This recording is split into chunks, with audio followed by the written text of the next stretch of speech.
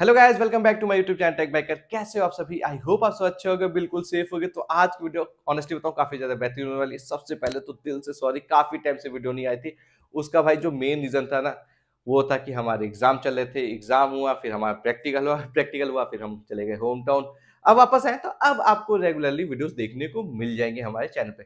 आज का टॉपिक काफ़ी ज़्यादा इंटरेस्टिंग है भाई। फाइनली बजाज अपनी पल्सर N125 को लॉन्च करने वाला है, जो कि काफ़ी बेहतरीन बाइक होने वाली है। कंपटीशन 125 सीसी कैटेगरी में काफ़ी ज़्यादा बढ़ने वाला है। देखो, जो 125 सीसी में मुझे जो बाइक काफ़ी अच्छी लगती थी रेडर 125 नई वाली एक्सट्रीम 125 दोनों काफ़ी बेहतरीन बाइकें थी। तो अब उनका कंपटीशन काफ़ी तगड़ा होने वाला है N125 के साथ।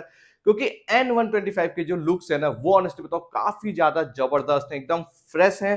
प्लस फैमिली ओरिएंटेड भी है, स्पोर्टी भी है, इस बाइक को कोई भी ड्राइव कर सकता है तो कंपटीशन काफ़ी ज़्यादा होने वाला है। और देखो, आप सभी से इस वीडियो में एक रिक्वेस्ट भी करना चाहूँगा, भाई देखो, काफ़ी लोग है फेक वीडियोस बनाते हैं कि ये बाइक लॉन्च होने वाली है, वो बाइक लॉन्च होने वाली है, और आप लोग उनके झांसे में आ जाते हो व्यूज़ भी काफ़ी ज़्यादा आते हैं, जैसे एक भाई है, वो दो साल से Pulsar R S two hundred को लॉन्च करा रहे बट अभी तक लॉन्च नहीं हुई। एक वीडियो में तो ये बोल दिया कि सीईओ से बात हो चुकी बजाज के हेड से बात हो चुकी बाइक लॉन्च नहीं हुई। तो कभी भी अगर ये ध्यान रखना कोई भी नई बाइक लॉन्च हो रही होगी ना तो वो टेस्टिंग के दौरान उसकी फ़ोटोज़ वीडियोस हमेशा वायरल हो जाती हैं, क्योंकि कोई बाइक लॉन्च उठी और लॉन्च हो गई, ऐसे नहीं होता। पहले कंपनी उसकी टेस्टिंग करती है तो टेस्टिंग में कभी ना कभी तो रोड पे दिख जाती है के दिखी थी तो सब वैसे ही दिख जाती है ना? तभी ये चीज़ें आती हैं अपाचे का याद है, वो भी दिखी थी। मतलब हर बाइक आपको टेस्टिंग में दिखेगी, उसके बाद ही वो लॉन्च होती है। कंपनी कभी ऐसा नहीं करती कि बाइक बनाई और लॉन्च कर दो।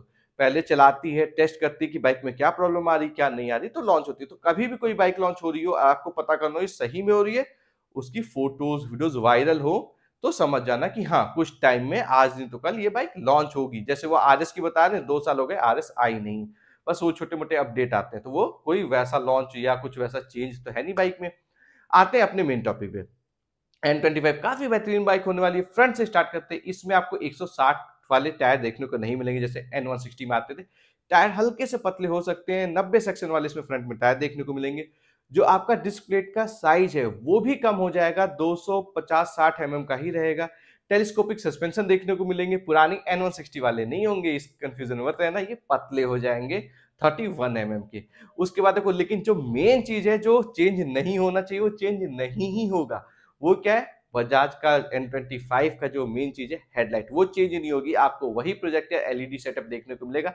लाइट आप सभी को पता है N20 N160 N250 दोनों की लाइट सेम है और लाइट काफ़ी ज़्यादा बेहतरीन है। कोई तोड़ नहीं है इनकी लाइट का, इतनी ज़बरदस्त लाइट है। रात में काफ़ी अच्छा वर्क करती है तो ये चीज़ सेम रहेगी। उसके बाद जो आपका मीटर है, वो भी आपका डिजिटल ही रहेगा, जैसे N160 में आता सेम वैसा ही रहेगा। ब्लूटूथ पे कंफ्यूजन है ब्लूटूथ आ भी सकता है, नहीं भी आ सकता। जहाँ तक मुझे लगता है ब्लूटूथ इस बाइक में आपको देखने को नहीं मिलेगा। साथ ही में एक चीज़ और कम हो जाएगी। इस बाइक में आपको लाइट ऑन ऑफ़ का स्विच भी देखने को नहीं मिलेगा। तो चलो इस चीज़ों से आप कॉम्प्रोमाइज कर सकते हो। बाइक में आपको 125 सीसी का इंजन देखने को मिलेगा, जो कि मुझे लगता है 125 सीसी का इंजन ठीक है मतलब काफ़ी बेहतरीन है बट उसमें एक गेम हो जाएगा। ये हो जाएगा 124 सीसी का। 124 सीसी होने का रीजन ये है ना कि अब बजाज के पास ऑप्शन हो जाएगा कि इसमें एबीएस दें या ना दें। क्योंकि 125 सीसी के ऊपर रूल है हमारे कंट्री में कि 125 सीसी के ऊपर भी बाइक तो आपको एबीएस देना पड़ेगा, भले वो सिंगल चैनल हो। तो अब यहाँ पे बजाज के ऊपर है कि वो एबीएस देता है कि नहीं बट जहाँ तक मुझे लगता है कि बजाज सिंगल चैनल एबीएस तो देगा ही देगा और वो देना भी चाहिए।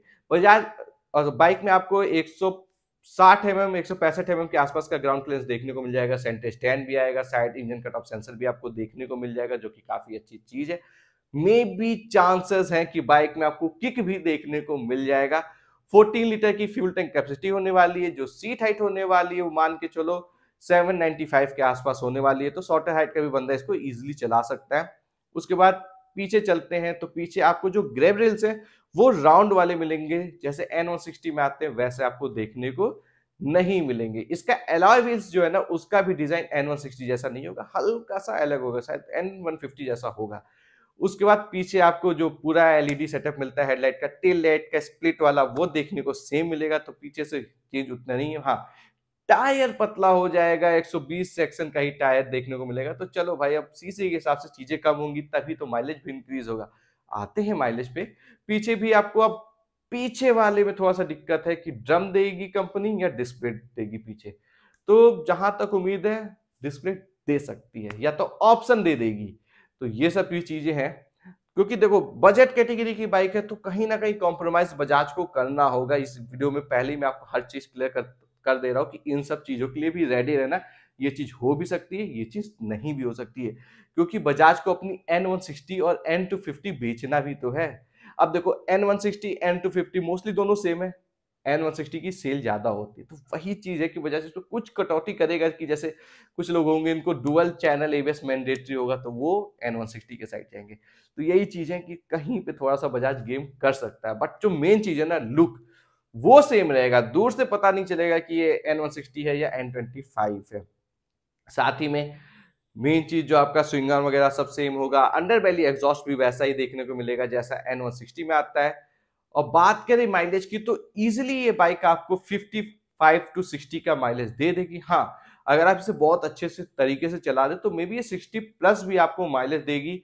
तो ये काफ़ी अच्छी चीज़ है कि 125 सीसी की स्पोर्ट बाइक होने के बाद भी आपको जो माइलेज है अप्रॉक्स 60 के आसपास का मिल जाएगा। तो मेरे हिसाब से तो ये चीज़ काफ़ी अच्छी है।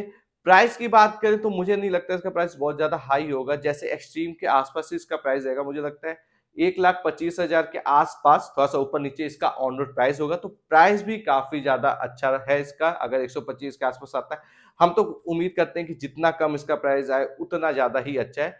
और बाइक लॉन्च कब होगी तो मुझे लगता है बाइक दिवाली तक बजाज से लॉन्च कर देगा, क्योंकि दिवाली तक भाई काफ़ी लोग बाइक खरीदते हैं और बाइक की टेस्टिंग भी काफ़ी सही तरीके से हो रही है। और जो इसका इंजन होगा ना, मुझे लग रहा है जो पुरानी वाली एन वन वो जो पी 125 थी, उसी के आसपास का इंजन होगा।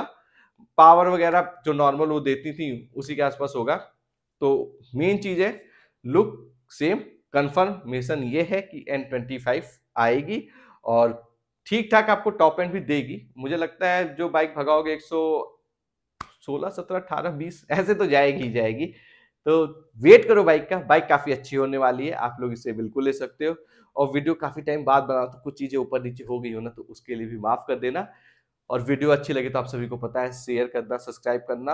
और आप लोग तैयार हो जाओ। अगर आप लोग में से, देखो मेन चीज़ है, अगर कोई जल्दी में नहीं है कि उस, मुझे आज ही बाइक लेनी है, मुझे कल ही बाइक लेनी है तो मेरी सलाह मानो थोड़ा सा वेट कर लो। दिवाली तक अगर आप वेट कर, अगर आप वेट नहीं कर सकते तो आप रेडर या एक्सट्रीम कोई भी ले सकते हो। काफ़ी अच्छी बाइकें हैं। ऐसा नहीं कि वो बुरी हैं।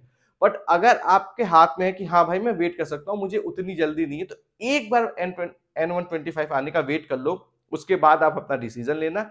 सो आई होप ये वीडियो अच्छी लगी होगी, जो छोटी मोटी इन्फॉर्मेशन बताई मैंने, वो भी आप सभी को अच्छी लगी होगी।